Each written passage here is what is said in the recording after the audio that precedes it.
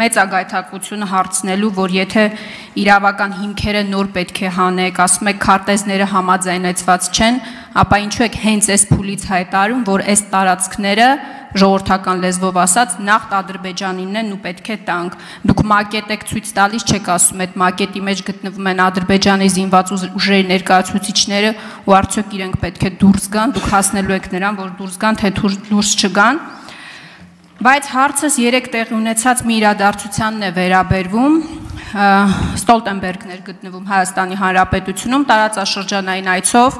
եւ ձեր հետ համատեղ մամուլի ասուլիսի ժամանակ բառացիորեն հայտարարեց. Մենք ողջունում ենք ձեր համերաշխությունը Ուկրաինայի հետ եւ բոլոր գործընկերներին կոչ ենք անում, որ իրենցից կախված ամեն ինչ անեն, որ Պուտինը չհաղթի պատերազմում։ Մարտադաշտում իրավիճակը մնում է ծանր Եվ այս պատճառով է հենց որ պետք է ավելացնել, ոչ թե պակասեցնել մեր աջակցությունը։ Եթե Պուտինը Ուկրաինայում հաջողության հասնի, իրական ռիսկ կա, որ նրա ագրեսիան այնտեղ կանգ չի առնի։ Ես ուզում եմ հասկանալ Վրաստանում, Ադրբեջանում գտնվող Ստոտենբերգը ավելի հարմար տեղ չգտավ, քան ձեր կողքին այդ հայտարարությունները անելու պարոն Փաշինյան, արդյոք այս հայտարարությունը համաձայնեցված է ձեզ հետ, թե համաձայնեցված չէր, որովհետև եթե չեմ սխալվում, պրոտոկոլով համատեղ հանդիպումներից հետո, հետո տարածվող մամուլի հաղորդագրությունները, մամուլի հայտարարությունները համաձայնեցված են լինում։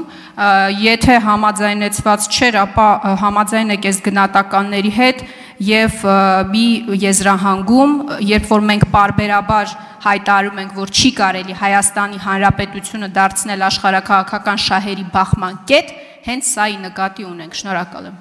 Հարցին կպատասխանի վարչապետ Նիկոլ Փաշինյանը։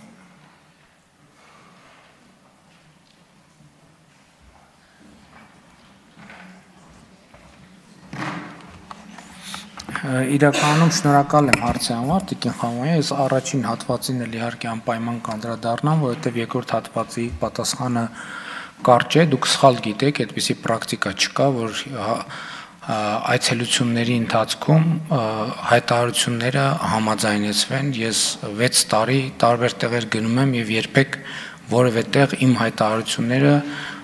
ընդունող կողմի հետ չեմ համաձայնեցրել։ Հիմա այն ինչ որ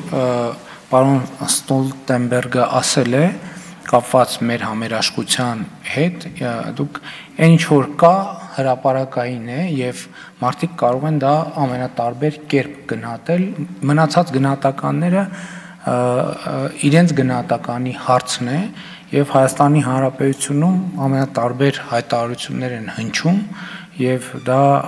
չեմ կարծում թե ձեր գնահատականը ճիշտ է, որովհետև եթե նկատի ունեք, որ մենք հարաբերություններ չունենանք արտակին, ես կարծում եմ, որ դա այդքան էլ ճիշտ տրամաբանություն չէ։ Հիմա էլի առաջին հարցին անդրադառնալով Ես նախորդ անգամ էլ, եթե չեմ սխալվում, դուք տվեցիք հարցը կամ գուցե այլ պատգամավոր տվեց, ես ասացի, որ մենք միլիմետրի ճշտությամբ գիտենք Հայաստանի Հանրապետության սահմանները։ Տեսեք, իրավական փաստաթղթերը դուք ասում եք համաձայնեցված են թե համաձայնեցված չեն։ Մենք մեր իրավական փաստաթղթերը ունենք, եւ մենք համոզված ենք մեր իրավական փաստաթղթերի մեջ։ Հենց հենց ամբողջ խնդիրն էլ դրանում է, որ սահմանազատման գործընթաց տեղի ունենա բանակցային եւ մենք մեր փաստաթղթերը տնենք սեղանին, եթե այլ փաստաթղթեր կան, այլ փաստաթղթերն էլ դրվեն սեղանին եւ այդ հիմքի վրա կայացվի համաձայնություն։ Ես ելի եմ ասում, ես չեմ խոսել որևէ բան զիջելու մասին։ Ես ասել եմ, որ քանի որ մենք գիտենք Հայաստանի սահմանները, մենք պետք է կանգնենք Հայաստանի սահմաններին։ Մենք պետք է կանգնենք Հայաստանի սահմաններին, որովհետև դուք երբ որ եւ մենք եւ մենք բոլորս երբ որ խոսում ենք Հայաստանի անվտանգությունը ապահովելու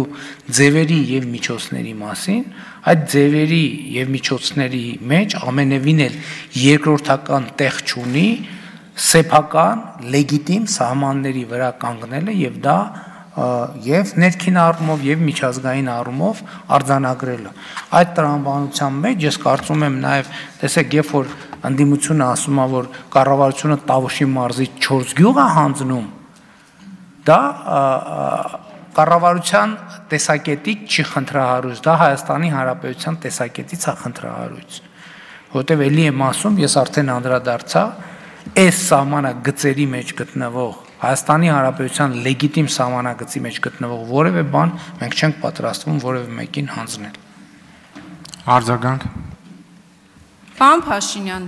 որևէ մեկը չի ասում, որ մենք հարաբերություններ չպետք է զարգացնենք, չպետք է զարգացնենք ՆԱՏՕ-ի հետ։ Այդ հարաբերությունների դեպ ձեր օրոք չեն հաստատվել, ձեր օրոք չի, որ զարգացում են ապրել։ Խոսքը հետեւյալի մասին է. Ռուսաստան արևմուտք լարվող, լարված հակամարտությունների, պայթյունավտանգ հակամարտությունների ֆոնին Ստոլտենբերգը ոչ թե Ադրբեջանում, ոչ թե Վրաստանում վերջիններիս ղեկավարների կողքին կանգնած Պուտինի մասին գնահատականները անում, այլ ձեր կողքին կանգնած մեր ռազմավարական դաշնակիցն է Ռուսաստանի Դաշնությունը։ Հետո էլ բողոքում ենք, ասում ենք հայ-ռուսական հարաբերությունները լավ չեն, լավ չեն, լավ չեն։ Ինչ ենք մենք անում, որ այդ հարաբերությունները կարգավորվեն։ Սրա մասին է խոսքը։ Ես ուզում եմ հասկանալ այդ հայտարարությունը մեզ ինչ տվեց, բացի ձեր համատեղ լուսանկարից ու տարածված տեսանյութից։ Գործնականում մեզ ինչ տվեց այդ հայտարարությունը։ Գիտեք, դուք ասում եք ինչ ենք անում, որ մեր հարաբերությունները կարգավորվեն, մենք էլի ցույց ենք տալիս այդ քարտեզը, ասում ենք հարգելի հավաքական անվտանգության պայմանագրի կազմակերպություն։ Սա Հայաստանի Հանրապետության ինքնիշխան տարածքն է։ Դուք սա համարում եք հավաքական անվտանգության պայմանագրի կազմակերպության պատասխանատվության գոտի։ Եթե այս հարցին հստակ պատասխան չկա, դա մեզ համար խնդրեմ է եւ ես դրա մասին բազմիցս ասել եմ։ Ինչ վերաբերվում է աշխարհ քաղաքականին, գիտեք ինչ, այո, այս լարված պայմաններում կարող են տարբեր կողմերից լինել պաշտոնյաներ, ովքեր իրենց անունից անեն հայտարարություններ, որոնք մյուս կողմի համար այդքան էլ հաճելի չլինեն եւ այդպիսի հայտարարություններ ես չեմ կարծում թե դա եզակի եւ միակ հայտարարությունն է Այո։ Իմ մոտ այլ հայտարարություններ են այդ այլ հայտարարություններ են հնչել, ուրիշների մոտ էլ Հայաստանի Հանրապետության դեմ են հայտարարություններ հնչում, հնչել եւ հնչում։ Եվ ինչ։ Եվ ինչ, մենք գնանք ասենք, որ բոլոր այն տեղերում, որտեղ Հայաստանի մասին վատ բան է ասվել, մենք ուրեմն այդ տեղերի հետ մեր հարաբերությունները խզում ենք։ Եթե ձեր ասած տրամաբանությամբ գնանք, ուրեմն կարողա ձեր նկարագրած դաշնակիցների շրջանակի հետ շատ լուրջ խնդիրներ արձանագրենք։ Այդ այդ ձեր ասած տրամաբանությամբ, այդ ձեր ասած տրամաբանությամբ։ Բայց եթե տրամաբանությամբ մի հատ հայտարարություն ան չէ, ինչի մենք Ուկրաինային 3 միլիարդ դոլարի կամ 15 միլիարդ դոլարի զենք ենք վաճառել։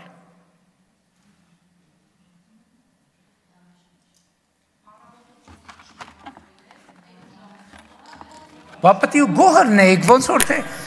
հիմա պետք է ասեիք, վայ այնքան ուրախ ենք, որ բանը մեր նման կոմպլեմենտար քաղաքականություն եք վարում։